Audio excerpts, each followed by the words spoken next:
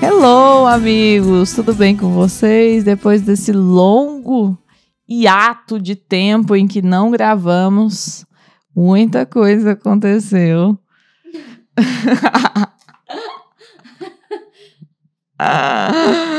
do qual não falaremos. Mas a gente vai falar hoje sobre o segundo episódio do livro A Música do Silêncio. Falaremos dos capítulos 3, né? Supostamente capítulos 3 e 5. 2 ao 5? Espero ter lido os capítulos certos, amigos. é porque o 5 é porque o 5 é aquele vazio, onde ela, ela passou o dia chorando. Só tem uma linha. Ah, entendi. Ah, inclusive, essa daqui é, claro, a protagonista do programa, que é de quem eu estou ao lado presencialmente, é. Oi, gente, Letícia. Perdi o. Oh, é porque... Como se eu acertasse. Parece até que eu acerto todas as vezes e não fico sem graça em falar todas as vezes, mas. Faz tempo. Faz tempo. A gente, eu tava tentando gravar ASMR, por isso que eu tô com uma voz mais. assim. então tá, então bora lá, né? Vamos começar. Capítulo 2, o que um olhar acarreta. Esse capítulo é, é, muito difícil descrever histórias no, no negócio da, no, na história da, da Audi, porque as histórias são só o pano de fundo do que de fato é a narrativa, às vezes mais subjetiva e poética, que tá falando mais coisa, que a gente acha que tá falando alguma coisa, mas a gente nem sabe se a gente tá falando a coisa certa, né? É, eu escrevi aqui umas coisas para eu falar é que eu sinto, quando eu, quando eu li esses, esses capítulos, eu senti que algumas partes vão fazer sentido só quando sair Doors of Stone. Mesmo sendo. É... Mas assim, mesmo ele sendo um livro à parte, entre aspas, é, eu sinto que tem algumas coisas que a gente só vai entender quando a gente entender alguns conceitos que foram.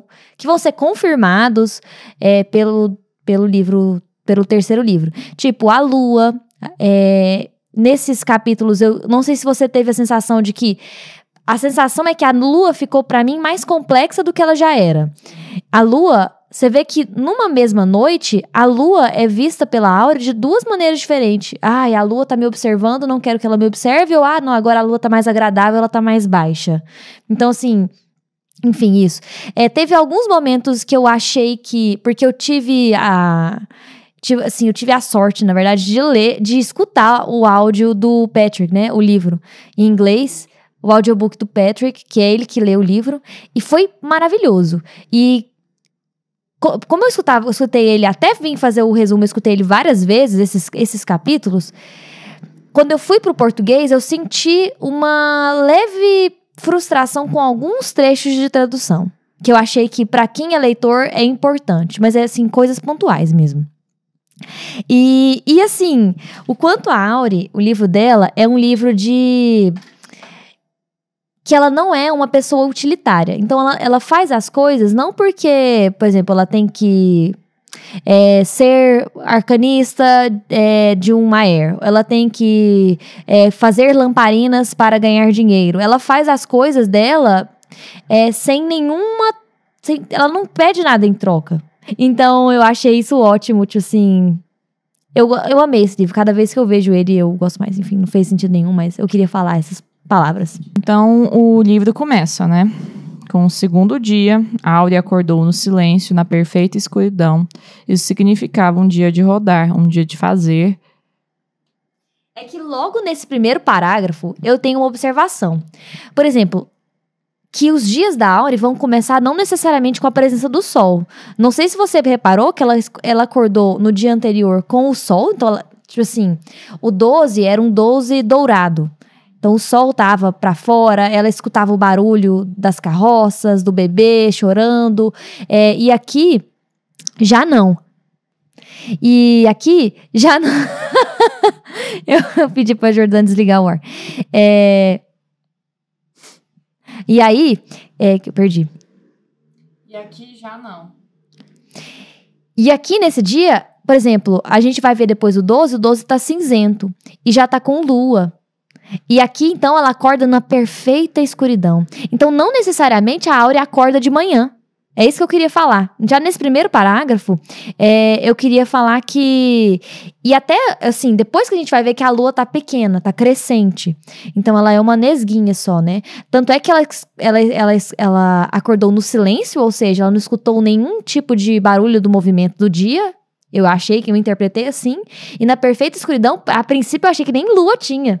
Eu falei, meu Deus, é uma noite sem lua, vou ficar ligadona. Mas acabou que tem lua, lua é crescente. Enfim, queria só falar esse essa, essa, essa observação. Que é extremamente interessante, porque então a, a passagem dos dias da Aure não se pauta pelo ciclo é, sol, sol nascendo, sol se pondo, né?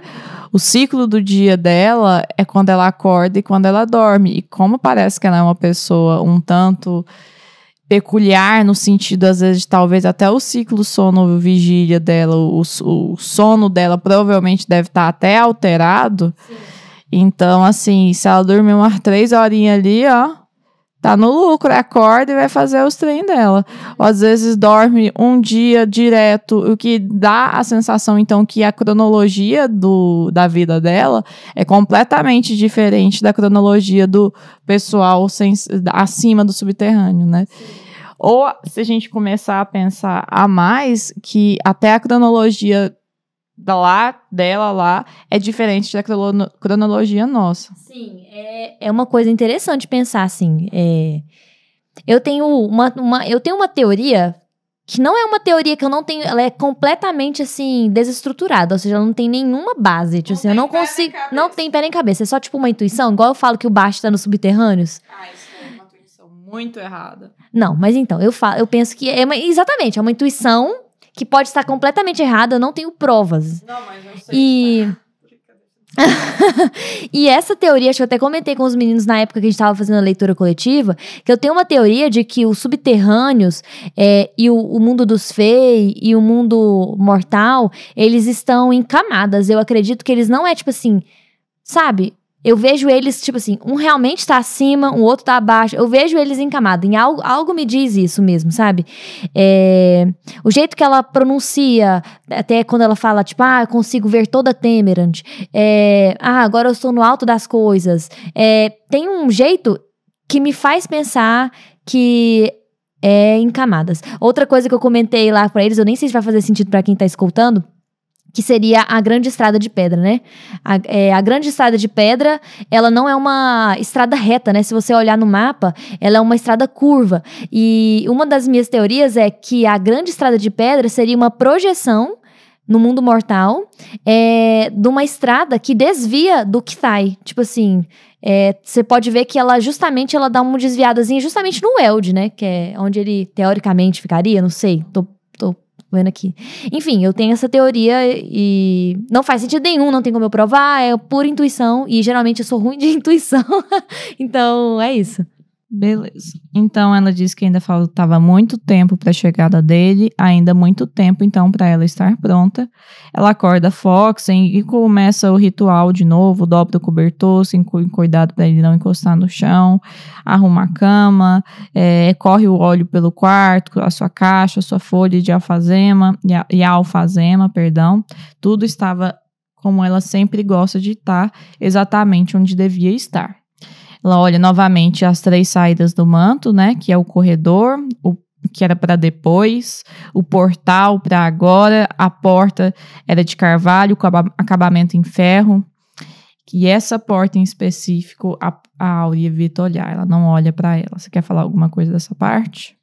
Que é justamente ela a primeira vez que ela descreve a porta, né? É carvalho, que é uma madeira antiga, que é de toda vez que eles descrevem carvalho, é uma árvore super antiga, tanto é que eu volto compara o carvalho com, às vezes, os marcos do percurso. Uhum. E eu geralmente falo que o carvalho me lembra muito o Kvolt. E, e de ferro, né? Que a gente sabe que ela é... De ferro tem todo aquele... Tem todo aquele símbolo na crônica. Acho que é isso. Então ela olhou seus itens coletados, inclusive recentemente, tudo aparece, parecia estar no, no seu lugar, né? Exceto com a velha a velha fivela, que ela deu uma ajeitada, porque estava espremendo um pouco de resina. Ela corrigiu é, o, ele cutucando por um lado.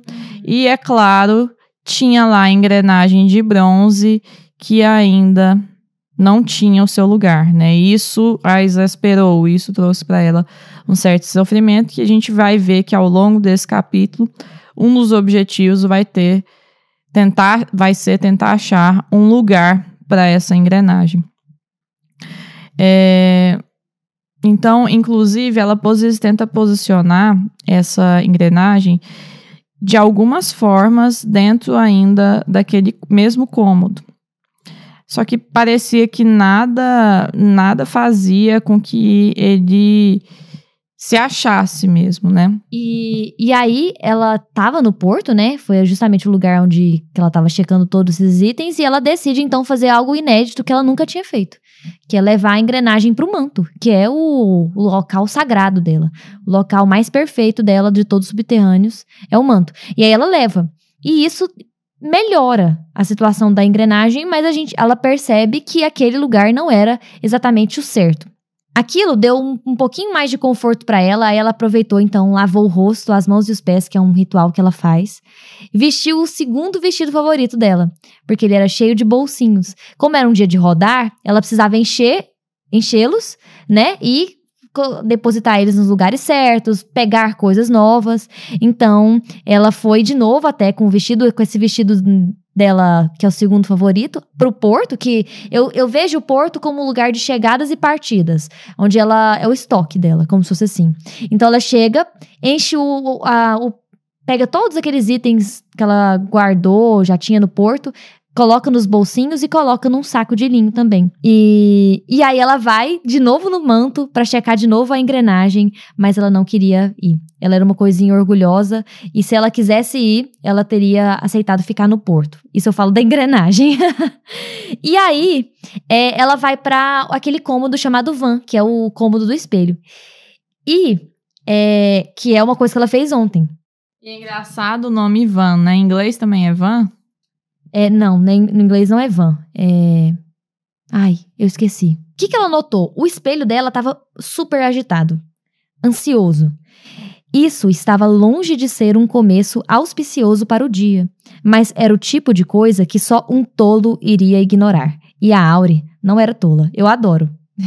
eu adoro, adoro, porque a Áurea é tudo que o Volt, tipo assim, não é. Ela é cautelosa, ela pensa demais, ela tem cuidado. E aí, eu queria muito falar, ler esse parágrafo justamente do espelho, porque esse parágrafo, apesar do, da, do trecho em inglês não dar essa sensação, no trecho em português é, me dá. Vou ler para vocês. Além disso, fazia bastante tempo que o espelho estava ali. Por isso ela conhecia suas pequenas peculiaridades. Ele queria movimento, mas primeiro tinha que ser acalmado, consolado, adulado. Precisava de uma capa. Assim, apesar de ainda não haver seu, se penteado, Auri pegou Foxen e fez o longo percurso até a galeria. Esse parágrafo me lembrou o Kvolf.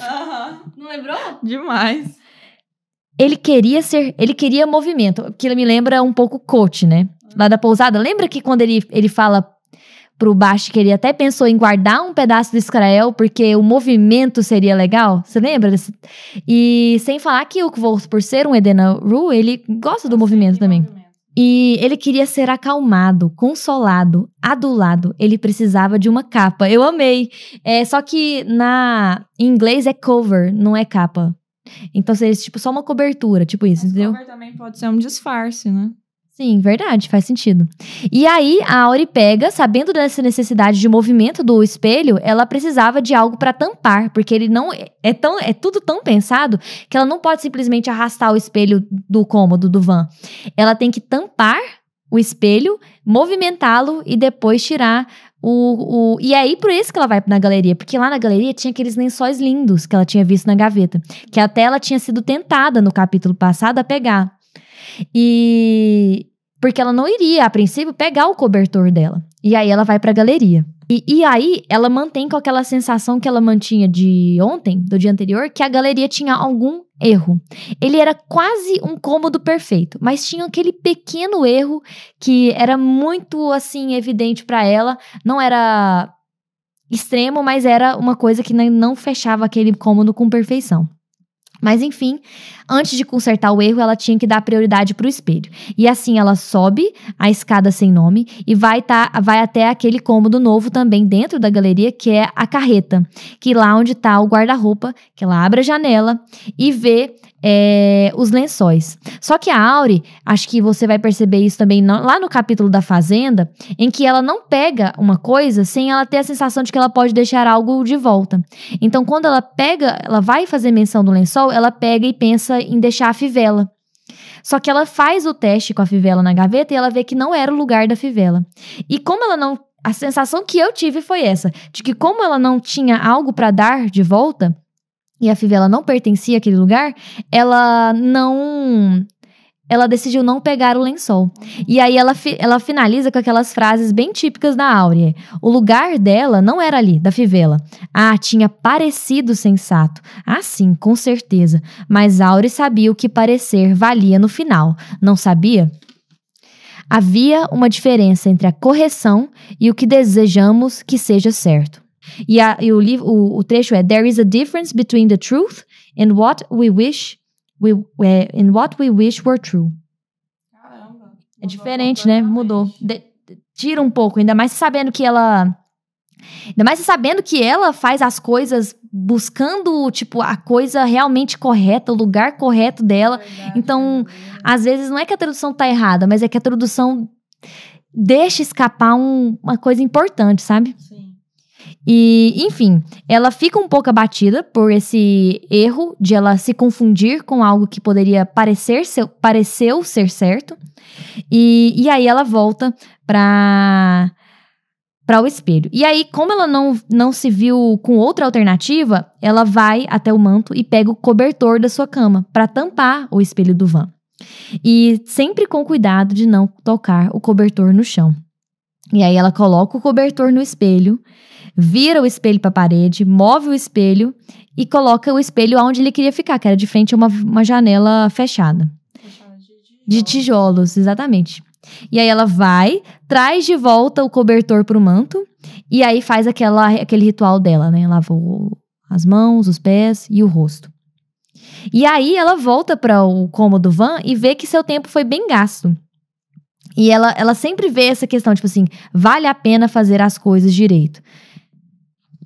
E é interessante porque se a gente pensar, gente, qual que vai ser a utilidade de um espelho virado para uma janela fechada de tijolos? Isso simplesmente não faz sentido, né?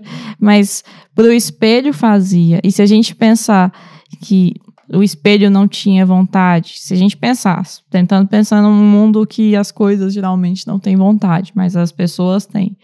Ela tentando virar o espelho para longe dela, de forma que ela não consiga ver seu reflexo, é uma coisa bem triste para se pensar, né? Que às vezes ela está tentando, evitando ver até seu próprio reflexo. Às vezes por não estar tá se reconhecendo mais ou por não gostar do que vê, né? O que pra Auri não é muito difícil de pensar isso, né? Tipo assim, a gente, a gente sabe que ela tem um certo sofrimento ao se ver no espelho. É, mas assim, eu gosto de pensar que a Auri tá certa.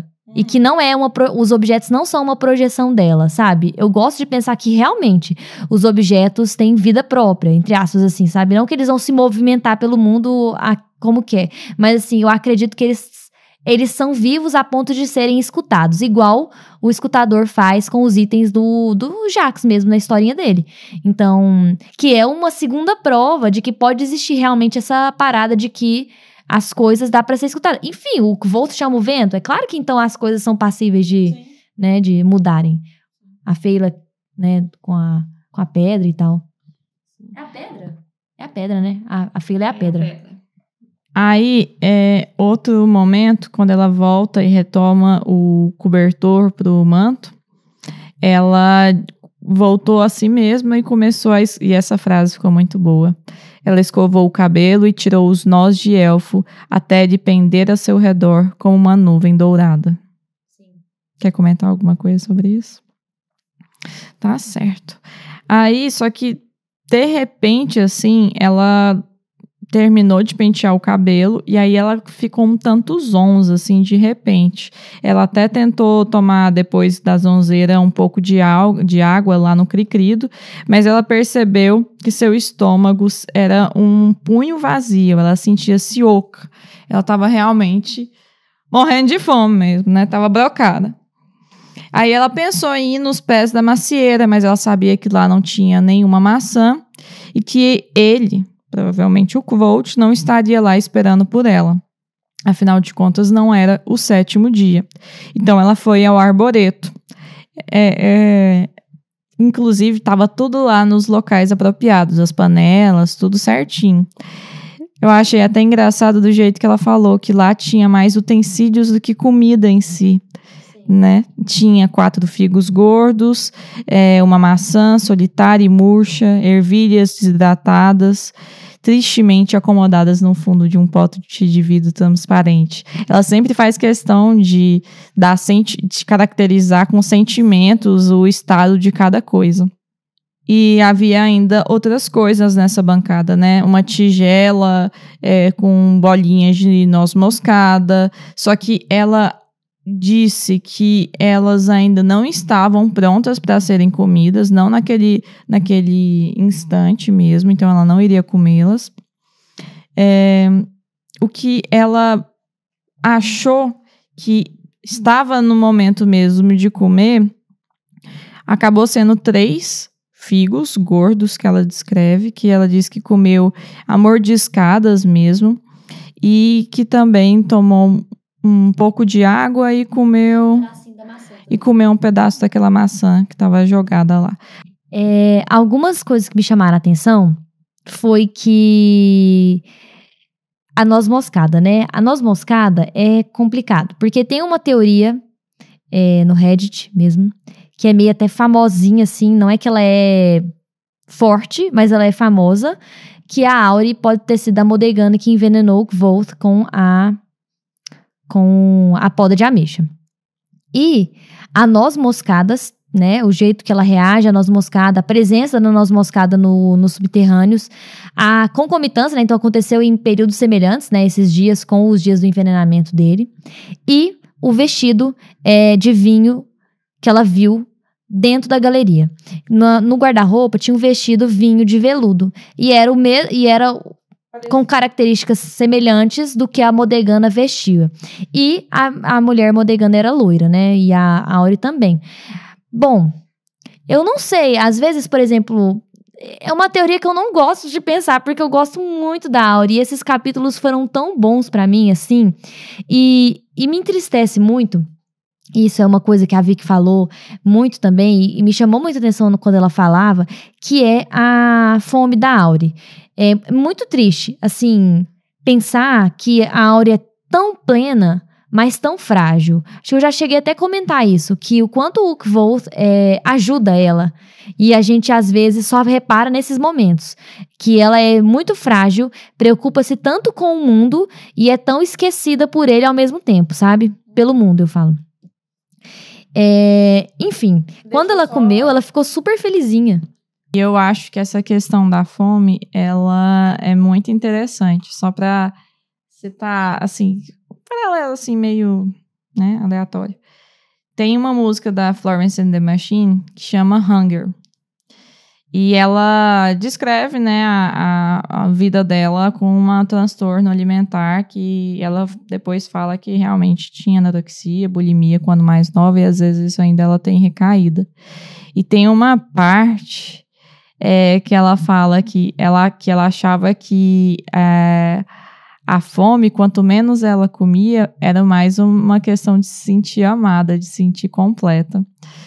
Então, às vezes, essa questão da fome, às vezes é uma forma disso. Eu não sei se às vezes é uma forma de autopunição da, da Audi para algum motivo, uma forma de se sentir mais inserida naquele mundo. Eu acho que o caso da Audi é muito complexo, no sentido assim que, é, por exemplo, a gente vai ver que ela vai na fazenda, aí tem pão, tem leite, tem carne, tem é, manteiga, e ela não pega, ela não rouba aquilo. Então, assim, ela pega o que é, o que ela acha que é o correto naquele momento. Então, às vezes a fome dela mostra fragilidade, às vezes tem uma culpa que a gente sente que ela que alguma coisa aconteceu com ela, que ou fizeram com ela, ou ela fez no mundo e se martiriza por isso algo aconteceu e a gente acha que foi feito algo com ela, né? E mas assim, é, essa questão de ela ser tão frágil também tem a ver com o fato de que ela age de uma maneira tipo que ela não desvia, ela raramente desvia desse caminho, dessa correção. Né? Exatamente, ela tem extremamente controle do que ela faz no mundo. Ela, ela tem consciência de que ela não quer impor os desejos dela no mundo. Então, será que a, o comer seria algum tipo de extravagância, talvez, assim? Não sei, entendeu? Acho que. Quando ela diz que não quer comer as bolinhas de noz moscada, ela fala que eles não eram. Né, no momento, eles não eram propriamente alimentos. Eles eram mistérios que queriam aguardar o momento propício no arboreto. Então, ela encara, às vezes, é, pequenas coisas assim que a gente pensa que só, ah, é, vou comer esse negócio. Não, ela encara como se fosse uma história de vida daquele objeto mesmo, né? E que ela não pode interromper aquela história de vida, aquele, aquele curso de existência daquela coisa, só para impor sua vontade, que é a fome, por mais que seja uma necessidade básica para ela, né? E aí, é, resolvida essa parte, né, de da fome dela, que ela estava com fome, é, ela decidiu. É o momento, então, de encontrar o lugar certo para a engrenagem de bronze, bronze. E aí, ela disse que ela tentou várias coisas. Primeiro, ela tentou adulá-la. É, mas a, a engrenagem ignorou o comprimento e ficou ali parada, nem um pouquinho mais afável do que antes. Levou a engrenagem para um broso, mas ela não ficou feliz lá com os barris. No cricrido, na casa das trevas e tentou irritar-se, mas não conseguiu. E aí eu vou ler os próximos parágrafos porque são ótimos. A engrenagem era diferente de tudo que ela já vira em todos os seus anos lá embaixo. O simples fato de olhá-la a deixava feliz. E ainda que ela fosse pesada, era uma alegria tocá-la. Tratava-se de uma coisa meiga, um sino silencioso que marcava as badaladas do amor. E essa parada de sino e essa parada de sino é muito marcante. Porque toda vez que ela fala sino, é uma coisa boa. Perial, Menda engravidou, entre aspas, Perial e tocou um sino, fez um barulho de um sino. Sempre que ela. So, é, e, e, assim, tem um sino que é uma parada que é um som bom, sabe? É, enfim. Vou prosseguir aqui. Não, não podia se zangar. A engrenagem estava fazendo tudo o que lhe era possível. A culpa era da própria Aure, por não saber o lugar dela. As respostas eram sempre importantes, mas quase nunca fáceis. Aure simplesmente teria que agir com calma e fazer as coisas da maneira apropriada. E isso me lembra muito o Jax. É, por quê? Porque o Jax, e inclusive essa coisa tipo assim, ah, é engraçado as coisas parecerem, ela sabe o peso que tem o parecer. E, eu, e quer consequência pior do parecer é, do que a guerra da criação, o, o Jax, ele simplesmente é, não escutou, ele decidiu não escutar a lua. Lembra que ele tinha sido orientado: escuta a lua. Às vezes você entende o que ela quer e às vezes você consegue oferecer para ela vir até você. E, e, ele não, ele decide não esperar, não fazer as coisas com calma, ou não fazer as coisas do jeito apropriado. E simplesmente não dar ouvidos para o mundo. E aí ele acarretou tudo, né, aquilo. Então eu adoro o jeito que ela age. E só então, para ter certeza, ela le decide levar a engrenagem de volta para os 12, é, para ver se a, que era o lugar onde ela tinha sido encontrada, para ver se ela queria ir embora. E ficaria triste por vê-la partir, mas às vezes não havia na mais nada a fazer. Algumas coisas eram fiéis demais para ficar, algumas vinham apenas de visita por algum tempo. E aqui eu vou ler de novo um, um pedaço em inglês que eu, que eu achei que podia ter ficado melhor, quer ver? Some things simply were too true to stay. Então, não era que as coisas eram. Quer ver? Eram fiéis demais. Diferente, não era, ela, ah, não era que era verdadeira demais para ficar. Então não é fiéis demais, era true, true, true. too true. Então eram muito verdadeiras para ficar. É, e é isso. E aí ela chega no 12 cinzento, que ela descreve o 12 de uma maneira diferente, que é um dos lugares que ela fala que era mutáveis, né? E aí ela diz: naquele dia era um lugar diferente. Aquela era a sua natureza. Mesmo assim, Auri soube que era bem-vinda ali. Ou, se não bem-vinda, ao menos indiferentemente ignorada. E aí ela pega, coloca a engrenagem na borda, cobre o Foxen e foca bastante na engrenagem, deixando ela só com a luz cinzenta lá da grade do alto. E nesse, nesse, nesse jeito, a, a engrenagem não tremeluzia. E aí ela ficou feliz, porque aí representava que a engrenagem não queria partir. E aí ela começou a pensar em outros locais que a engrenagem poderia ser o lugar certo, mandril, urso de cera, até que ela foi surpreendida por um ruflar de asas trem das asas, deixe comigo. Então tá, ela ouviu esse ruflar de asas, é, que inclusive a gente pensa, pronto, tá descendo um anjo nesse momento aí. Mas não, era um pássaro, é, provavelmente um noitibó, que é uma ave escura, assim. Ela tava, ela golpeou forte alguma coisa contra o cano e em seguida comeu era um caracol, imaginou a Auri. E lembrando que a Auri beijou um caracolzinho quando ela achou todos aqueles pertences, né? É, não foi preciso imaginar o tipo de cano, deu para perceber pelo tilintar, pelo jeito que soou, que era um, um, era um cano de ferro negro e o do dobro da espessura do seu polegar. Ou seja, um pássaro matando um caramujo parece, ou que elas pareceu que se identificou anteriormente, golpeando esse caramujo contra um cano de ferro negro bem chandrianesco, né? E aí é engraçado que até a imagem assim da projeção do pássaro é, contra a, a luz dá uma sensação de que o pássaro é muito maior do que ele de fato é, né? E depois ele voou depressa de volta ao poleiro anterior e apareceu então pela terceira vez esvoaçando e uma última vez, né, na terceira e última vez. E é, é engraçado que quando ele se senta, a Auri se senta, o, ela faz um contato visual com esse pássaro por um bom momento.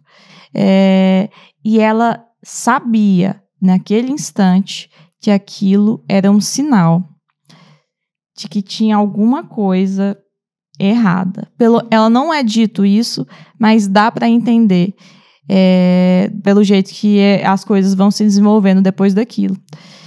É, só para ler o que, que o, o, parágrafo, como foi, né? Não podia pedir que as coisas fossem mais claras que aquilo. Sua pulsação começou a acelerar e, de repente, as palmas de sua mão ficaram suadas. Ela então saiu correndo e ela até fiz, ficou um pouco envergonhada é, pela é, engrenagem de bronze, né? Porque ela esqueceu de se despedir dela. É, mas então ela saiu em disparada primeiro ao manto, onde ela fez todo aquele ritual de limpeza. Só que ela pega também é, na caixa de cedro um, um lenço. Então ela disparou para a rúbrica e pelo plumário até a banca. Entrando pela tenência, perdão, ela que é um lugar que ela descreve que é um lugar que ela não gosta muito porque era um intermediário entre os subterrâneos, né, e o alto das coisas.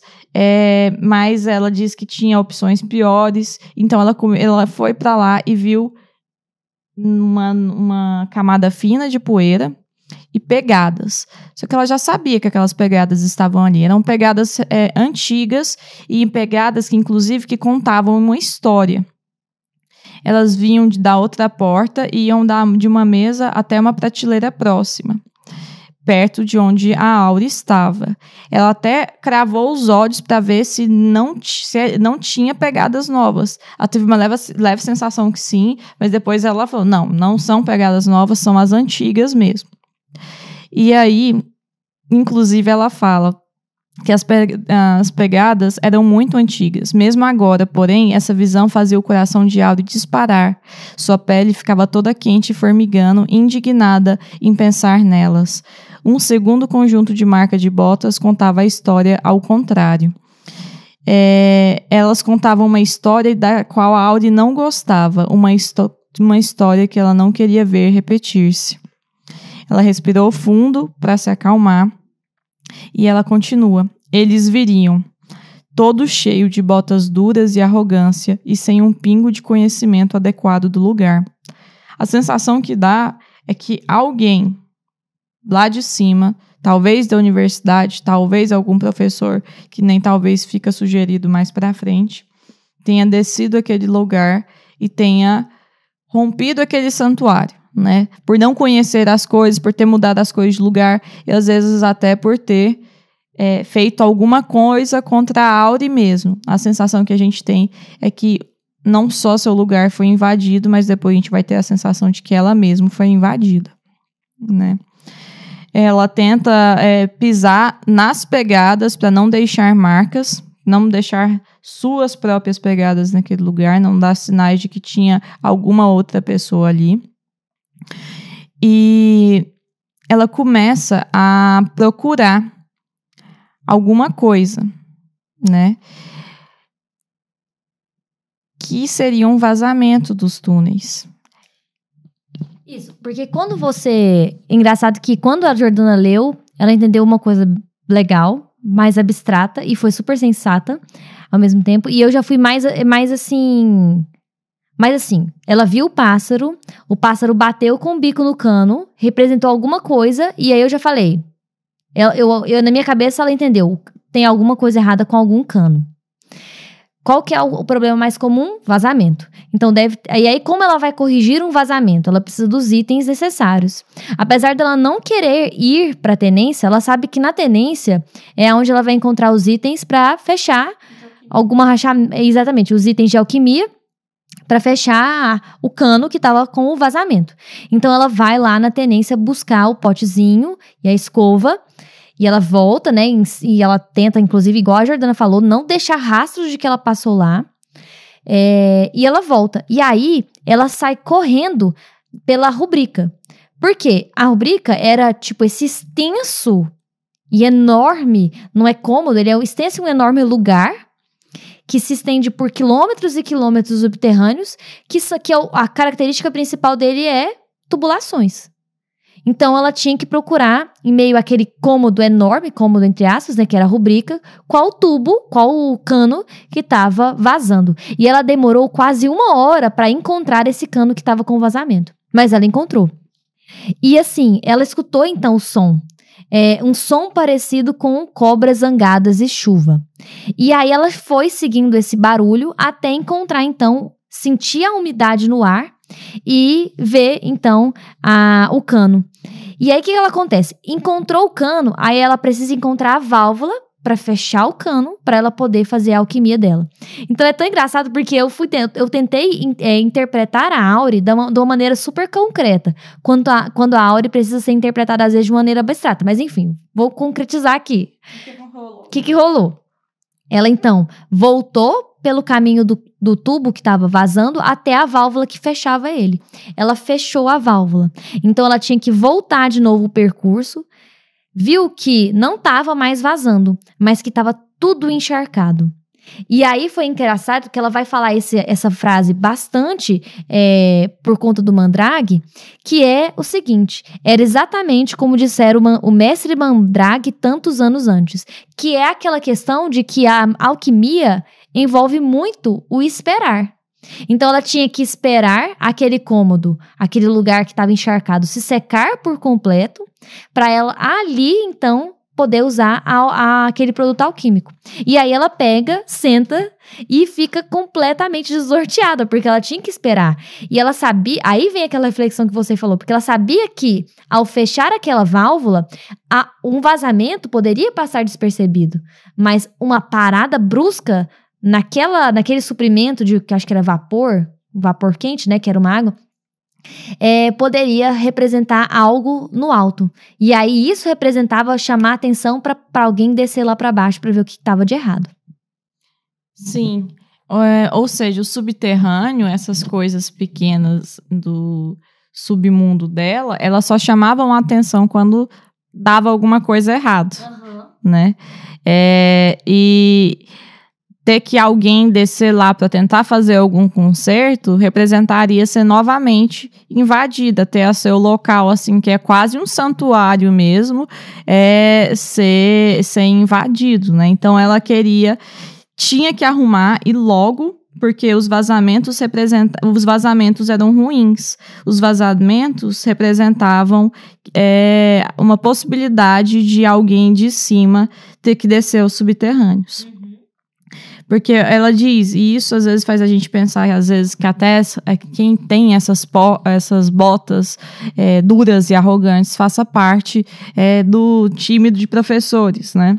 Porque ela disse que se esse cano levasse a, alguma parte sem uso do magno, aquilo ali poderia ficar sem, sem é, sem água ali por anos que ninguém perceberia, mas se levasse ao prédio dos professores e naquele exato momento algum deles estivesse no meio de um banho, então assim precisaria de reparo imediato. E aqui, esse, e é justamente nesse capítulo que, em inglês, a gente vai ter em contato com o título do livro, que é quando as coisas se secam. É, e aí ela fala que, é, em português, é o ar estava parecendo mais limpo, melhor ainda, o lento silêncio das coisas tinha levado para longe a umidade do ar. E aí, em inglês, fica better still. The slow regard of silent things had wafted off the moisture in the air. A tradução ficou a música do silêncio, né? Mas aí eu queria. E assim, geralmente, o capítulo. O nome do capítulo sempre vai aparecer. Ele sempre vai colocar ali no meio. Então, o título do, do livro nada mais é que uma representação de, de um, quase do santuário do subterrâneo intocado. Sem ninguém tendo muito interesse, né? Por, por encontrá-lo. Sim, faz sentido demais. Ah, inclusive, tem uma, um parágrafo que é interessante. É, porque, né, do... a gente já falou tudo isso, mas o parágrafo que eu acho que sintetiza isso. Levaria ao mesmo resultado, perturbação gente procurando chaves, pessoas abrindo portas, estranhos no subterrâneos, nos subterrâneos, acendendo suas luzes inconvenientes por toda a parte, sua fumaça, o zurro de suas vozes, pisoteando todos com botas duras e indiferentes, fitando tudo sem a menor ideia do que olhar, do que um olhar acarreta futucando as coisas e bagunçando-as sem a menor ideia do que era apropriado que é o título do capítulo, né? O que um olhar acarreta. E aí, ela viu que o ar estava seco, ela pega o lencinho dela e enxuga mesmo assim o cano. E aí ela começa então a usar o produto que estava no pote de vidro com a escova. Ela molha a escova na, com o, o elemento alquímico, né, que era o tenáculo, e começa a passar ao redor da rachadura. Ela vê que a rachadura é super pequenininha, e aí ela passa três camadas. É, e eu acho tão bonito ela admirar a alquimia. Ela fala: estavam longe de ser o que ela usaria, mas não se podia discutir com os resultados. O talento artesanal empregado era inegável. E aí, a, a mágica alquímica aconteceu com um cuspe. Ela passou, aí ela cuspiu e todo aquele, aquele material, tipo, ele meio que tremeu e vitrificou. E assim, quem quer que houvesse elaborado e executado aquilo era uma prova viva de que a alquimia era uma arte. E aí ela faz então todas as três camadas, tapa o, pote, o beija e corre de volta para ligar a água, porque enfim era essa que era a emergência, né? E aí ela vai então de volta para a tenência e e aí começa uma parte que é um, geralmente a dificuldade. Ela teve a dificuldade da, do alimento, mas agora ela tem uma dificuldade que a gente vai ver que a Auri tem às vezes, que é uma dificuldade mental, às vezes mesmo. Não que eu tô falando que ela tem uma dificuldade mental, que é esse excesso de preocupação com barulhos, invasão. Porque ela ouve algo, ela acha que ela ouve algo. E aí, ela abre a porta mas não mas vê que não tem nada. No, por um momento ela acha que tem pegadas novas, é, mas era, ela viu que é apenas sombras. E outra coisa também é que ela diz não só, além de dela achar ter ouvido algo, ela diz que o ar estava diferente. Ele estava tenso, ele estava pesado, tinha alguma coisa estranha no ar. Por isso que ela achava que havia algo errado Sim, e, e, as pedras dos subterrâneos não estavam macias como elas eram aos seus pés. É, e aí ela pega e ela vai e entra na tenência de novo. Meu Deus, será que ele esqueceu alguma coisa? É, volta na válvula, mas a válvula estava funcionando. Volta na tenência de novo e ela sente que havia algo de errado no mar. No ar, a porta se recusava a se encaixar direito em sua moldura. E aí ela pega, entra na tenência de novo. Escutou, abriu a porta e olhou de novo. Nada, mas só ver não ajudava. Ela sabia que parecer não chegava a ser nem metade das coisas. E aqui entra até numa uma coisa que eu até fiz a pergunta para isso na, no Twitter essa semana, que é a questão de que que eles, que que vocês achavam que, que significava Elir, Relar e Elth, né? O Elir é aquele que vê, o Relar é aquele que fala e aí o elf a gente não sabe o que, que é, mas tem gente que fala que é o que ouve, né? Então, realmente, às vezes você ver a coisa não basta para você conhecer ela totalmente. Você tem que ouvir a coisa. Eu, eu sou dessa teoria que também acho que o ouvir é o mais, é o mais sensível, é o mais poderoso. Eu, eu tenho essa sensação. Enfim, era só isso. Uma reflexão pontual. É, e aí, as pedras sob os seus pés ainda continuavam é, diferentes. Ela precisava do seu lugar seguro, ela precisava voltar para o manto. E aí, com passos super lentos, ela, ela, inclusive ela parando no meio do caminho, ela vai em direção ao manto. Como poderia se o próprio ar se tornara desleal? Porque ela às vezes tinha dificuldade até de respirar. É, ela para num cômodo, eu falo cômodo, não é um lugar, mas é um, é, supor, um lugar que pode ser extenso ou não, chamado Escapada, que é um lugar úmido, podre, cheio de areia, com olhares mal intencionados. E lá o ar estava cada vez mais abafado. Até que ela sente um alívio ao ver que ela estava saindo da escapada. O emaranhado de túneis indesejado se abria diante dela mas se abria para a quietude vasta e deserta da porta negra. E aí é tão intensa a relação dela com essa porta negra que ela nem se vira de costas para a porta. Para não deixar a porta. A porta ela era tão traiçoeira que ela não queria, é, tipo assim, deixar sua guarda baixar com a, com a porta. E aí ela vai se recu recuando até meio que virar a esquina e não ver aquela, aquele corredor mais da porta. Só que aí ela não aguenta e, e senta senta no chão. E, e aí ela fica pensando quanto ela precisava do manto naquele momento. É tão meigo e correto de verdade. E aí ela se fecha em si mesma, né? Então ela se dobra, é, tapa o cobre o Foxen, fecha os olhos e a boca. E o cabelo que estava úmido deixa escorrer pro, é, pelos seus lados assim e forma um pequeno espacinho dela, que era só dela. E é muito triste essa parte, eu, fico, eu, fico, eu fiquei um pouco triste. Mas, é, de repente, ela consegue ver o Foxen brilhando na sua mão, escondidinho na sua mão, e ele, ela via que ele estava corajoso. E aí eu vou ler essa parte. Auri tateou dentro de si em busca do seu nome perfeito e verdadeiro.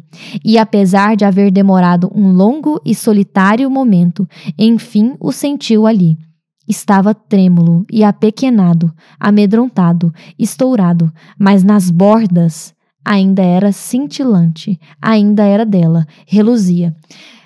É um parágrafo que você, você vai ler, parece que é um, um mero parágrafo, mas como assim o nome ainda era dela? Tipo, como assim? Pertenceu a outro alguém? Será que ela está se referindo ao nome que o Kvolt que deu, que eu acho que ela está se referindo, porque ela tem um nome pré-Kvolt, né, que era o nome antes, que a gente não sabe nem o quanto era esse nome, que jeito que era esse nome, se ele, se ele realmente estava vazio, esvaziado ou não, e ou se alguém já teve o nome dela, enfim. É... Ou então o nome que ela recebeu, que é um, inclusive um motivo de força, de luz para ela, né? É, ela não entra, não estava em contato com ele naquele momento. Foi dessa forma que ela se perdeu. Né, começou a, a ter medo excessivo, a se questionar, a sucumbir mesmo, Sim. Né? E só quando o Foxen dá uma luz assim para ela mesma, uhum. que ela retoma, né? ela lembra de quem ela era, uhum. né? Lembra do seu próprio nome. E, e novamente eu vou repetir uma coisa que a Vicky falou e faz muito sentido: é que não é que ela lembra quem ela era, mas ela lembra quem ela era pro Kvoth. Uhum. E, e o Kvoth viu ela como ela via as coisas. Com a mesma empatia com que ela vê as coisas e quer ajudar as coisas. E isso é muito lindo. Inclusive, se eu pensar demais, dá vontade de chorar. Ai, ai. Aí, ela consegue encontrar o manto. Ela lava o rosto, as mãos e os pés. E isso ajudou. Sentou em sua cadeira perfeita. Viu a sua folha perfeita.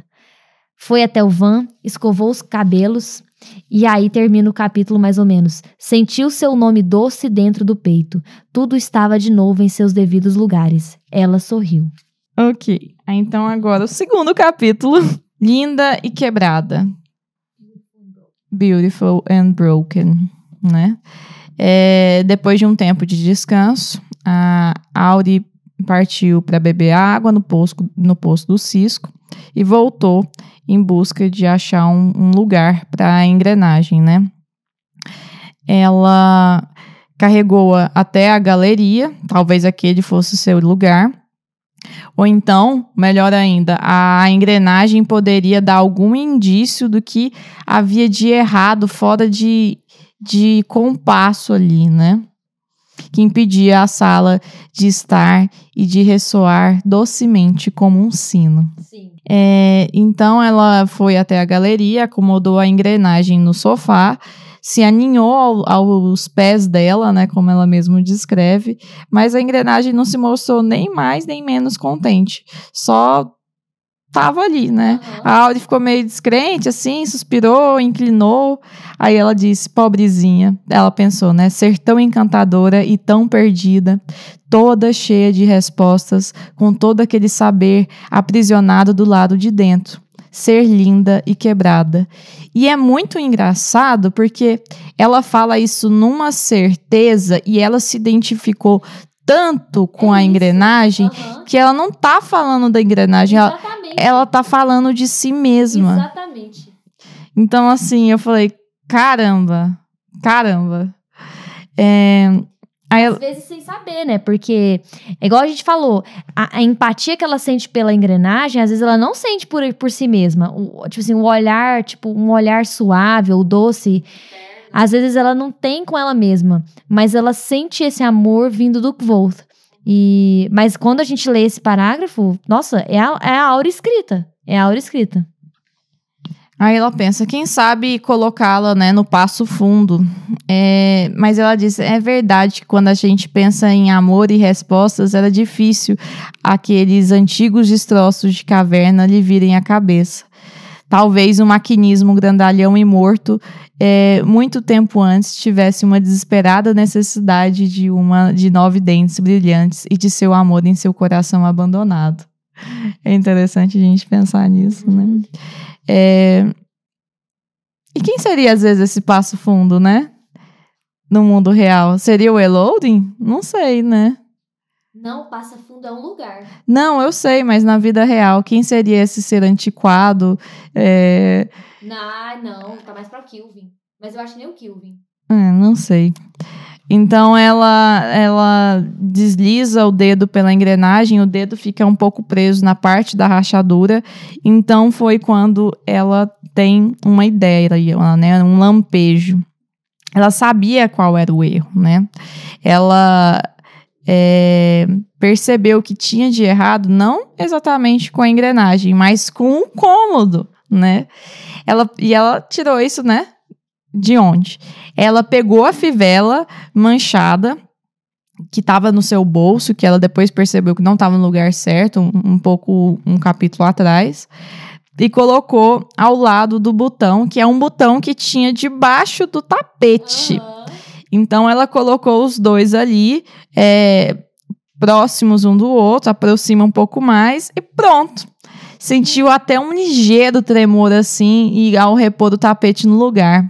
Alisou-o bem com as duas mãos, porque ela levantou e depois ela percebeu que teve um clique, como o de uma chave numa fechadura. Agora a, a sala estava perfeita como um círculo, como um sino, como a lua em seu perfeito ple, plenilúnio. The fuck? Exatamente. Aí eu entro pra você falar, na tradução em inglês, é like the moon when it was perfect full.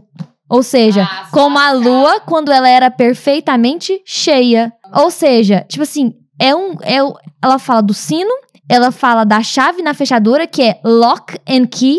Vamos lembrar que o, o cronista chama Devon Locks, Lotches, né? Ou seja, você sabe que esses nomes a gente nunca nunca pode deixar passar batido, né? Ou seja, será que o cronista, a presença dele na vida do Kvolt, seria uma presença positiva? Como um lock numa. como key num lock? Não sei, tô buena, mas. É, e como um círculo, que lembra o Zedena Room um pouco, né? Como um sino. Como a lua quando era perfeitamente cheia. Ou seja, é, ela conhece a história da lua. Num pequeno parágrafo, dá pra você perceber que ela, sim, ela sabe a história da lua. A gente sabe que a Auri sabe tudo, eu adoro ela. Coincidência ou não, agora que ela tinha resolvido a questão da sala, ela podia pegar algum item daquela sala, né? E ela pega justamente um círculo, um anel na mesa. É, E que ela percebia que aquele lugar dele já não era mais ali, que ele estava livre para ir onde ele lhe aprovesse. Todo ele cantava em dourado e o âmbar que continha era suave como uma tarde de outono. Então ela, olha só, um anel de ouro e âmbar. Ouro, sei lá por quê, mas tem aqueles anéis da, do, de vintas, né? Que é uma relação de superioridade, assim. E âmbar, que é a referência ao anel de, dos demônios, né? Então ela transborda de alegria, é, dança, e aí com o coração saltitando de felicidade, ela torna a pegar a engrenagem de bronze e quase que fecha, quase que abraça ela, né? É, ela volta a- ao manto e ouve uma sugestão de música. Podia ser qualquer coisa. Ela e ela pensava, não vai ser o Volt, porque ele vai chegar no sétimo dia. Mas ela torna a ouvir. Poderia ser qualquer coisa, um tilintar de cristal no cristal, um pássaro, mas também poderia ser um tanger distante de uma corda esticada. E ela então tem a certeza, ele tá lá, mesmo com dias de antecedência, ele tá lá e ela tá meio suja, de mãos vazias, tem que me arrumar. É, e aí ela uh, se lava rapidamente, coloca seu vestido preferido e aí fica pensando, meu Deus, tenho que levar alguma coisa, né? É, o que, que será que eu levo? Aí, Letícia, você vai falar agora. Essa questão de um, um, um som que parece três coisas, né? Um, um som que parece um tintilintar de cristal no cristal. Parece um pássaro, mas também poderia parecer uma corda esticada. Lembra muito. Olha, eu voando na maionese, gente, mas sigam comigo. Os nomes profundos que a gente tem contato, geralmente eles têm três significados, né? Então, é, e tem uma teoria muito legal que. Acho que eu falei no podcast que o, o Volta ouviu o nome da Sherrin. E que. E às vezes ele ouviu também o. O da espada do Gris. Eu falei isso também? Falei, não falei? Então, assim, quando a gente escuta sons. É... E som, tá vindo. Eu vou te falar uma teoria que eu li que é muito interessante, é super recente, lá no Reddit. Que é sobre som. Que a caixa dos Leclerc seria ou é, escrita em nós ilianos, né, que é uma teoria já famosa, e que os nós ilianos, eles não são uma é, quando o- a, lembra nas aulas do Elodin que ele fala assim, me fala uma curiosidade. Aí uma aluna fala sobre os nós ilianos, uma delas fala. E aí ela fala que eles discutem sobre é, línguas que eram escritas. E ela diz: não, mas eu não tô falando que o nós ilianos é uma, é uma língua que não foi escrita. Ela foi uma língua que foi é, gravada. Ou seja, é como se fosse os fonemas que o Devon Lottis, que o cronista faz da sua da língua. Ah, eu poderia escrever qualquer língua fazendo símbolos. Seria mais ou menos uma espécie de disso, entendeu? Então, às vezes, é... Ai, gente, tô fazendo uma bagunça, né? Mas é porque tudo se misturou. Segura firme. É, não tá fazendo sentido nenhum, mas eu tô fritando aqui do mesmo jeito. Vou pra outro lugar, que nem faz sentido. E olha que legal isso, Jordana. A única coisa que. A única vez que o Kvolt não foi utilitarista, né? Que fala assim, eu tô parecendo uma grande filósofa, não sei o que é utilitarismo. Eu tô usando essa palavra porque ele, ele não foi útil, assim, não, não teve um propósito para fazer as coisas. Foi um dos, que eu acho que foi o principal, foi quando ele estava de luto na floresta. Jordana, ele tocou sobre sentimentos, ele tocou sobre coisas no mundo, ele tocou sobre um farfalhar de, de folhas voando no vento, ele tocou sobre andar de carroça com um Ben. Eu acho que aquilo era uma vibe meio escutadora dele, você acredita? É um, eu, e é tão engraçado porque a crônica é tão assim que às vezes você só vai reparar se, tá, se, se você estiver lendo dois livros ao mesmo tempo que dê, e dê a sorte ou azar, né? Porque às vezes você pode estar associando errado, de você associar dois lugares completamente diferentes. Que aconteceu de eu estar escutando o livro do Nome do Vento e tá lendo essas partes assim de e lendo a teoria do Reddit e lendo essa parte tipo assim de dois de três coisas que um barulho pode representar. Ah, enfim, foi na maionese total, né? E o tempo passando. Então, Auri foi em busca do que poderia dar para Volt, né, nesse encontro que ela imaginava que iria ter. Ela começa a olhar pelas estantes, vê um livro e fala: "Não, o livro ainda não". Ela olha para a engrenagem e, e, a, e ela via que a engrenagem estava emburrada e era orgulhosa demais. E ela pensou: não, disso ele já tinha o suficiente. Então ela olhou o anel de ouro, o, aquele anel de ouro outonal recém-encontrado. Ele era bem refinado, com certeza, mas ela não queria dar esse presente para ele porque era um mau presságio. Audi não queria, não queria lhe dar nenhuma sugestão de demônios. Então ela vê um vidrinho é, aberto, né? E tinha também drupas de azevinho dispersas, de cor vivo, vermelho vivo, feito os, de cor viva, feito sangue na toalha. E aquilo deixou ela empolgada, né? Então ela colocou essas drupas de azevinho dentro do vidrinho e ela ela deu um nome para isso, né? Vidro de azevinho, azevido. Vai mantê-lo seguro. E além disso, aquilo ia ser suficiente para uma visita antecipada. Porque não era culpa dele. Era ele que tinha chegado. dela. Era ele que tinha chegado antes. Aí ela vai até a, então a grade daquele bueiro, chegando já na, no, no Passo das Macieiras, né? Só que ela já não estava escutando mais nada. Coloca o Foxen na caixinha dela, dele, abre a grade e vai para o Passo das Macieiras. A lua fitava o passo das macieiras. Não era uma lua boa. ah, não consigo entender, desculpa. Por isso que eu acho que Doors of Stones vai, vai, vai iluminar. E aí ela vê a Lady Larbor, que é essa, ela é tipo uma árvore, que é a, a árvore que ela escala para subir pro, pro telhado do Magnum. E então, ó, aí eu vou ler essa, essa parte é muito boa. Porque é a primeira vez, acho que eu falei, que a gente vê a palavra Temerant. Hum. É a primeira vez que a gente vê o nome do mundo do Patrick. Que a gente achava que era os quatro cantos. E não, o mundo é maior, não sei, que chama Temerant. Então chegou ao topo das coisas. Dali podia ver tudo. Infinitamente. Ai, por que, que ela vê infinitamente? Ela é o que sai? Não sei. Tá vendo? Essas, essas perguntas num livro como a gente não faz, mas aqui a gente faz.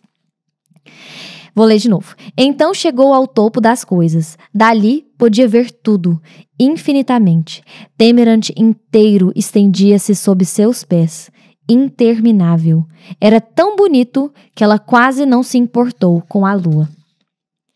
E aí ela avista o cadinho, ela avista o prédio do cercado, e a leste ela avistou a linha prateada da velha estrada de pedra, que cortava a floresta como um facão seguia para a velha ponte de pedra, cruzava o rio e continuava para longe, longe, longe.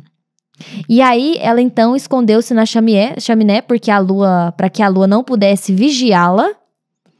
Só que ela percebe que realmente Wolf não estava lá. Aí ela pensa em esperá-lo, mas aí o que acontece? Venta. E, e eu não sei se ela escuta o vento, porque não descreve, né? Mas o vento passa soprando e aí, a, quando o vento passa, ela tem certeza. Não, ele não estava aqui. Ele vai vir somente no sétimo dia. Ela sabia, sabia como as coisas funcionavam. E então ela viu os, os telhados todos enluarados e resolveu esperar. E eu acho que ela esperou por conta da lua mesmo, para ela esconder um pouquinho. Começando agora o terceiro capítulo, Um Lugar Aprazível Bem Incomum, que é a continuação do anterior, né? É, uma nuvem termina por esconder a lua e assim convencida a Auri é, aproveita a chance de voltar para os subterrâneos, o que dá a impressão que a lua está sempre vigilante no céu e que a, ela não quer ser vista escondendo nos subterrâneos, talvez para não, não, não entregar como é que ela entra nos subterrâneos, mas é quase uma câmera assim que eu sinto que ela que ela pode ser tá, tá sendo observada por um inimigo que ela sabe quem é e não quer que seu lugar de segurança seja desvendado. Mas ok, aí tem um parágrafo que é muito interessante, que eu creio que a Letícia vai fazer alguns comentários, que é, sentiu o coração pesado em toda a travessia da decúria, mas achou um grande emaranhado de madeira seca no umbroso, arrastado para as grades do bueiro em alguma tempestade esquecida. Freixo, e o Piuriteiro. Vai ler.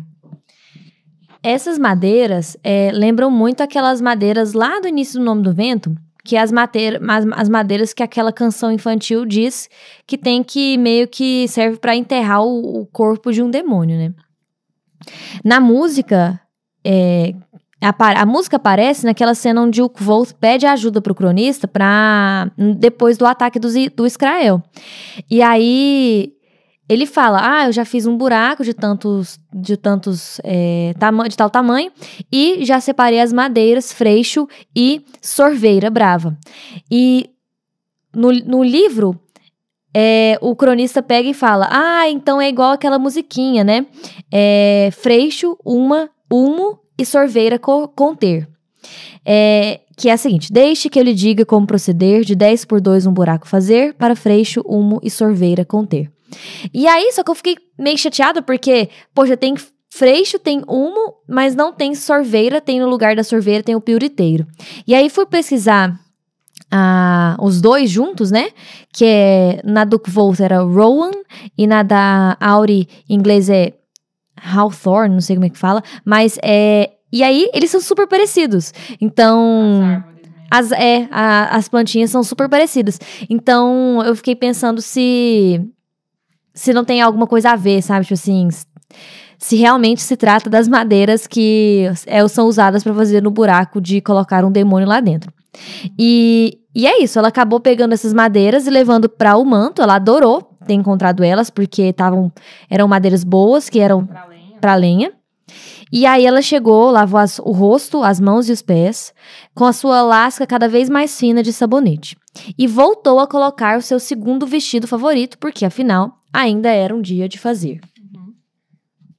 Ela pegou e novamente encheu os bolsos e o saco coletor e foi para. passou pelo mandril. E o mandril era um caminho tortuoso, mas que continuava seco porque fazia muito tempo que não chovia. Havia um toque de luar adiante. Então ela deu um beijo rápido em Foxen antes de guardá-lo em sua caixinha de madeira. O que, que, acontece? Agora ela vai dar um jeito nos objetos que ela tinha encontrado no porto, dá uma volta, né? E, e ela vai para um lugar que é fora dos subterrâneos. Então esse é o caminho dela. Como ela viu que tinha luar no céu, ela não precisaria da iluminação do Foxen para se se locomover. Além disso, o Foxen chama atenção também, né? É para ela. E aí ela chega então numa grade vertical. Então é como se fosse um portãozinho antes de sair dos subterrâneos. E, e olha só o parágrafo. Dali, avistou a massa do refúgio. No alto do morro, uma sombra que se agigantava contra o céu estrelado. Algumas luzes Ardiam nas janelas, umas vermelhas, outras amarelas, e no andar mais alto, uma brilhante e assustadora luz azul. E isso, tipo assim, gente, é muito chocante isso, porque quem poderia estar no refúgio e justamente usando uma luz azul? Porque eu vou. Tô programando um vídeo para falar é, sobre um dos símbolos da crônica, né? E, e pensando em símbolos de crônica, é, eu tava pensando pro vídeo, tipo assim, é, poxa, a chama azul é claramente um símbolo pro Chandriano. É, a chama, não claramente, mas lembra bastante. É, a, a torre negra em chamas é um símbolo do Zamir. A, aquela roda de ferro geralmente é um símbolo da igreja teriniana. E assim vai. Então, quando a gente vê um símbolo, tipo, quando o Patrick coloca um dos símbolos de um grupo tão famoso, é, por que que tá lá? Chama muita atenção. Não faço ideia de quem pode ser. Você tem alguma ideia? Eu tenho uma sugestão. Primeiro, da gente voltando um pouco, olha só. O refúgio seria como se fosse um sanatório, né? Daqueles que se desviam da razão, muitas vezes é por terem entrado demais na, na magia, né? Vamos dizer assim. Uhum. Só que é interessante que quando ela vê o refúgio ao alto, ela está de trás de uma grade. Ou seja, ela também está aprisionada de alguma forma. Cara, nossa senhora. É tão sua cara fazer isso. E aí, olha só, uma sombra se agigantava contra o céu estrelado. Quando a gente olha o céu estrelado, a gente também lembra daquele céu ultra estrelado que o daquela guerra dos moldadores e os é, e os conhecedores, que os moldadores, eles colocavam estrelas cada vez mais brilhantes no céu não é? Então, o céu, por exemplo, dos encantados era um céu super estrelado, com estrelas que não tinham no, no, no, céu dos mortais. E aí, bem nisso, a gente vê essa luz azulada, muito forte e poderosa. Então, a gente leva à conclusão, pelo menos eu. Não óbvia, uma óbvia conclusão, mas a gente começa a pensar que às vezes o mesmo que fazia um moldador, que às vezes foi aprisionado para lá, porque perdeu o controle mesmo de, de, do, do moldado do, desse mundo, né? Ou então até mesmo pelos próprios conhecedores, porque ele estava fazendo muita confusão no, no mundo, foi colocado lá é, aprisionado. E talvez eles pertencessem, seriam Jax, teria às vezes, talvez, que pertencesse, inclusive, a, a trupe, né? Do, a trupe dos Chandrianos, eu não sei. A trupe do Chandriano do Chandriano, é Rotan, meu irmão. E aí, eu fiquei pensando nisso. Interessante. E aí é isso, vai. Ah, e às vezes The Doors of Stone, né? Quem sabe se The Doors of Stone não seja o próprio refúgio. A gente às vezes fica até pensando. Nossa, interessante pensar. Porque se for pensar na prisão do moldador, é a porta de pedra, né? Que é o que o, o Lanry mandou eles para atrás das portas de pedra na, na batalha com, Dra com Dracos, não, com a besta de ferro lá. É, e, e, aí ela prende a respiração e escuta. Ela não, ela não identifica nenhuma voz, nenhum casco, nenhum uivo. E a gente até estava conversando no grupo do Discord sobre os sinais do Chandriando, né? E quando o Arliden fala com o Ben sobre o que, que ele está conseguindo de pistas, é, uma das pistas que ele fala, que o, o, um dos sinais que ele acha que o Chandriano tem, é justamente o descontrole dos animais. E então, assim, para mim, ela não ter escutado casco nem uivo significa que os animais estão tranquilos. E talvez a presença de um dos, dos, dos membros não estão aí. É, o céu estava com estrelas e ela esperou então até uma nuvem esconder a nesga de lua. Abriu o trinco da grade e passou para a grama e depois foi se esconder debaixo das sombras de um carvalho. Então ela já saiu dos subterrâneos. Ficou até ter certeza que não fora vista. Porque o que acontece? Ela faz um movimento tão engraçado, ela coloca, ela encosta na, no, no carvalho, na base do carvalho, e roda. Ela roda para ficar de costas pro prédio, pro prédio do refúgio. Mas lembrou muito aquela. Eu acho que não tem nada a ver, mas me lembrou muito o rodar do Volt na árvore espadeira da Latanta. É, e aí, então, ela começa o segundo é, o segundo trecho, né, de que ela... Aí, só um sinal, só a frase. Ela fez isso, foi contornando a árvore até que o prédio já não pudesse vê-la. Sim. Ela teme o que esteja preso, às vezes, nesse prédio, inclusive que talvez esteja produzindo aquela luz azul. Ou também, talvez, teme o refúgio porque ela já esteve lá um dia, quem sabe, né? Sim. É, e aí ela começa o seguinte: achou o lugar quando colhia pinhas. Me lembrou Elodin. muito, exatamente. Lembrou muito o, aquele trecho que o Elodin mandou que volto procurar três pinhas perfeitas lá, de tal, de tal jeito. E justamente nesse capítulo, o Elodin leva o Kvolt pro, pro refúgio. Sim. Ne- Justamente nesse capítulo, eu adorei. E aí ela vai parar, então, nesse cemitério. A lua, olha que interessante. A lua tinha ressurgido, mas agora estava mais baixa e acanhada. Auri deu-lhe um sorriso contente com a companhia, agora que já não estava no topo das coisas e o refúgio tinha ficado muito para trás. É verdade, não. Então não dá para saber. Às vezes a lua não estava mais no topo das coisas, né? E isso então volta para aquele questionamento de que numa mesma noite, então dá para ter duas perspectivas de lua diferente. Uma lua alta e vigilante e uma lua baixa, amigável e acanhada. E Com a qual, inclusive, talvez ela se identifique. exatamente, seria os subterrâneos um, um meio termo às vezes, o lugar, ai, não sei. não adianta eu pensar, não consigo, não consigo. É, porque se ela é uma lua crescente, ela está saindo do mundo mortal, saindo do mundo encantado e indo e crescendo no mundo mortal. É isso, não é? Então. É, não entendi nada. Eu tenho que parar. Ok. E aí, então, ela nesse cemitério, ela perambula pela, por entre as lápides e para diante de uma lápide, cuja as escritas estão desgastadas e essa lápide estava quebrada. E aí ela para de frente e logo retoma seu caminho. Eu pensei, tipo, será que é alguém que ela conhece? Ou ela mesma? É, Enfim, é uma lápide que chamou atenção, porque ela para, olha e reconhece a lápide mesmo. E ela até diz, né? Uma lápide toda estranha e deslocada. Sim. Exatamente. E aí ela vai pra. Não, não, não. Ela fala do loureiro, da árvore que é o estranho, que era uma coisa solitária, estranha e deslocada. E aí, debaixo desse loureiro, é, é aonde ela encontra um espacinho para colocar o osso, que vai ficar aquele osso que ela tinha encontrado lá no 12, amarelo, no primeiro capítulo. Ela aproveita também e coleta umas frutinhas azuis é, do loureiro, que eu acredito, se eu não me engano, ela vai levar para os levar para os subterrâneos depois para para fazer alguma outra coisa. Ela explora então a floresta, colhe cogumelos, cheira folhas e, e contempla as estrelas. Ela cruza assim um riacho que ela encontrou que era novo. E, e atrás desse riacho, ela vê uma pequena fazenda.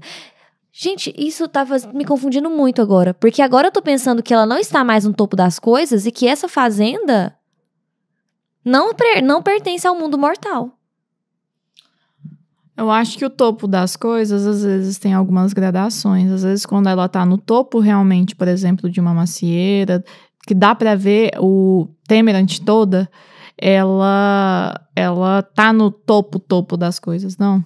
É porque ele coloca, olha aqui, ó. Ele coloca o topo das coisas em letra maiúscula, como se fosse um local mesmo.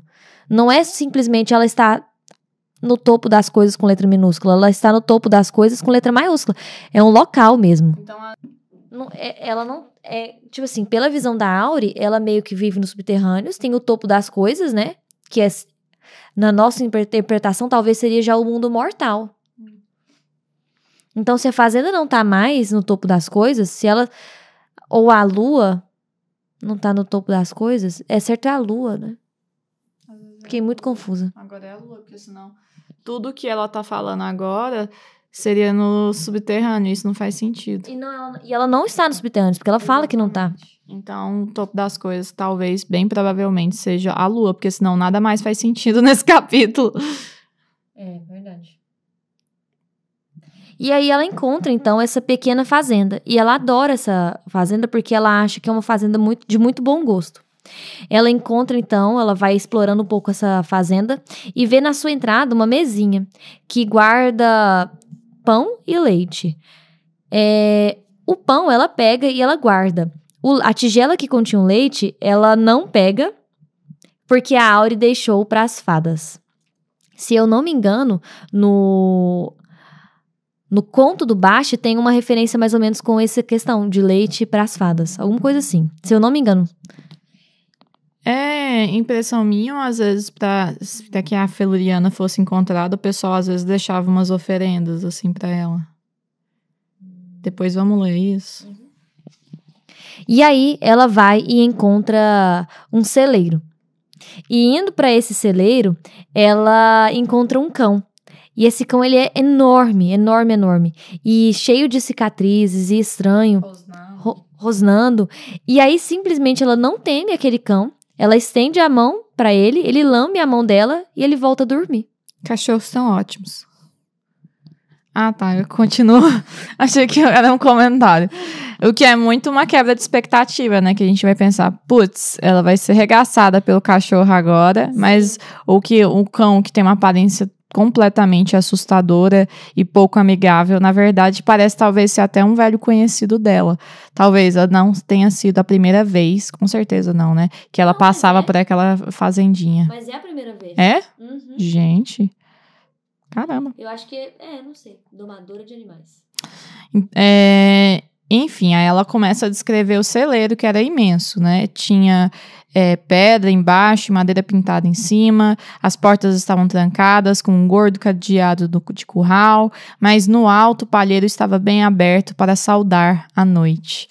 Auri subiu da, na pedra, cheia de nós de era, com a rapidez de um esquilo. Foi mais de, devagar na segunda metade, pois as tábuas do celeiro pareciam estranhas às suas mãos e seus pés.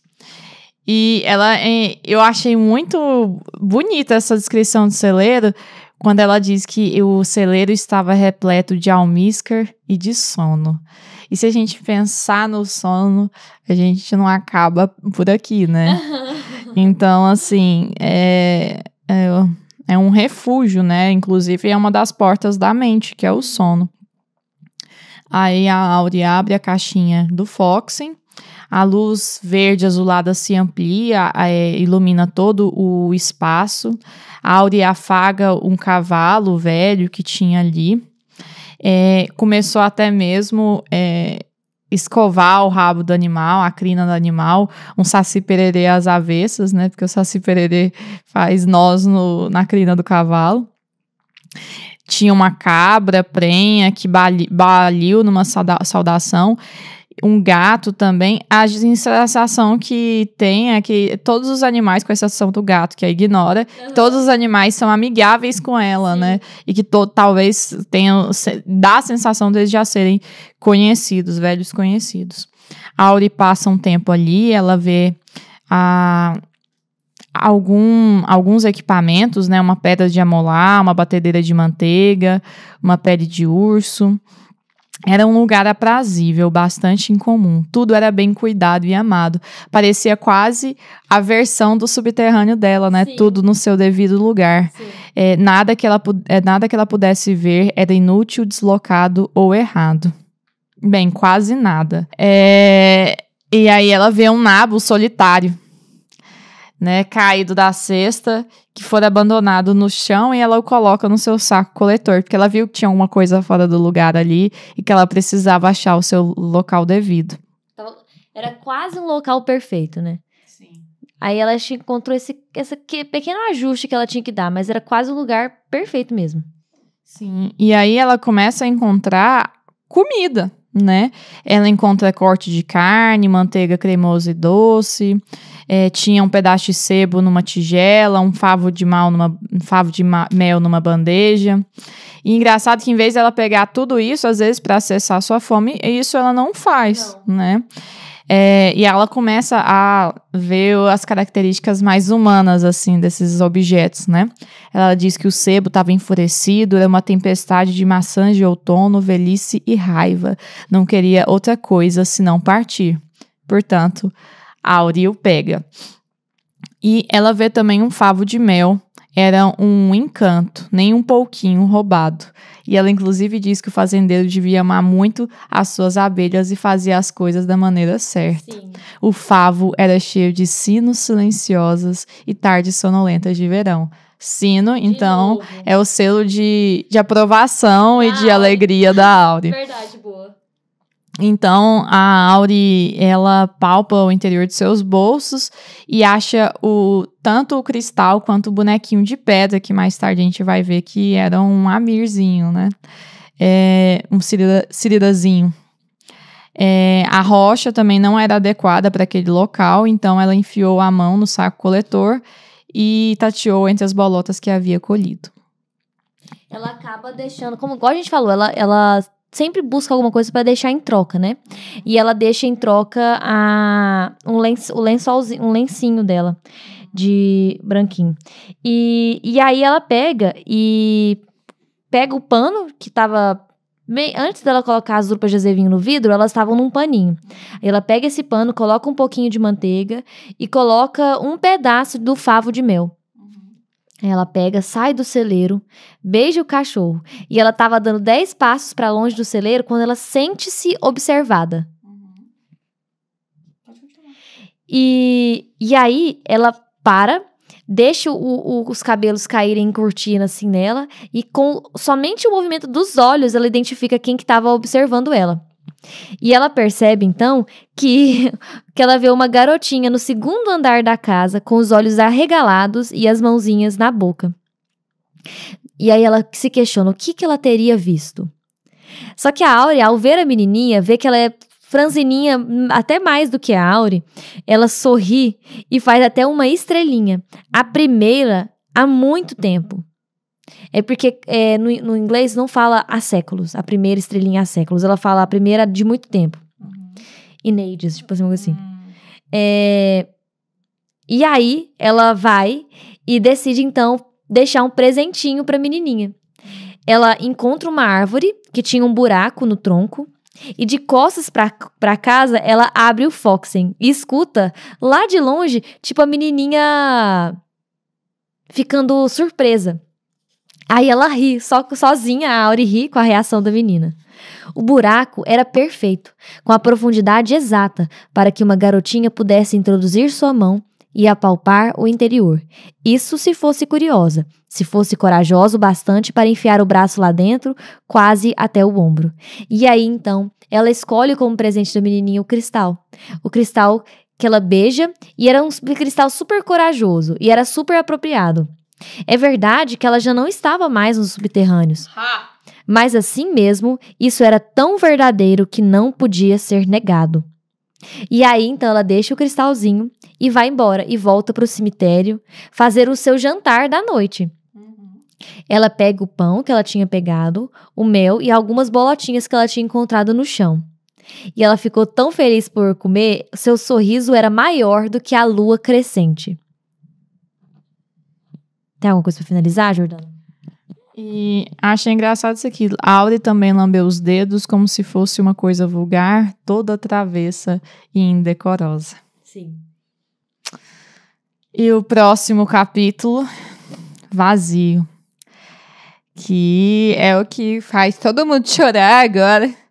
No terceiro dia, a Audi chorou. Sim. E é só esse, né, o dia dela. E é porque eu não tive a oportunidade de fazer. Eu acho que eu não vou conseguir fazer a, a timeline da Auri com o Volt. Eu acho que eu vou ter que esperar mais um pouquinho para fazer, porque eu não tô conseguindo engajar. Mas é, talvez seria o mesmo dia que Volt tenha sido envenenado e ela teria visitado ele, né? Ou não. É, porque ele, é, ela visita ele na noite do. Na noite do envenenamento? É, né? Foi. É, na noite do envenenamento. Ele tá chorando, lembrando das coisas da infância. Exatamente. Então é isso. É, a gente vai fazer os próximos dois capítulos, né? Os capítulos 6 e 7 para o próximo episódio. Certo, Georgiana? Certo! Acho que por enquanto é isso. Por hora, amigos, fiquem com o Telu, cuidem da saúde de vocês, façam uma caminhada, comam fibras, tomam, tomem água para fazer um, um pops legal, tá bom? Beijos! Tchau, gente. Fiquem com o Telu também.